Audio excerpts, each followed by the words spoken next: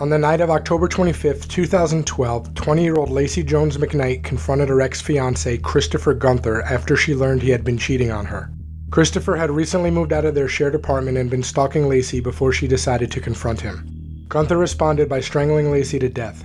When she was found, her hands and feet had been bound by tape and rope. Guenther had also put a plastic bag over her head. After killing Lacey, Kristopher drove around Calgary with her body in his car. He even went to see Lacey's mother to drive her home from work and confess to the murder. The whole time her deceased daughter was in the trunk. He asked Lacey's mom to kill him, and when she refused, he tried to hang himself from a bridge but was saved by police officers who promptly arrested him. In 2015, Guenther was convicted of first degree murder. He was sentenced to life in prison with no parole eligibility for 25 years.